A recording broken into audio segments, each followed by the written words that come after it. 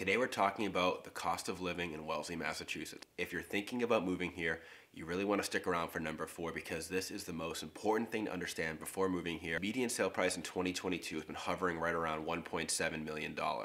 This is in line with the median household income just over $287,000. The property tax rate in town right now is $11.68 per thousand of valuation on your property tax. For a property that is valued at a million dollars by the town, you're looking at a tax bill of $11,680 per year. Before we get into number four, don't forget to like and subscribe if you want to see more content like this about Wellesley and the surrounding towns.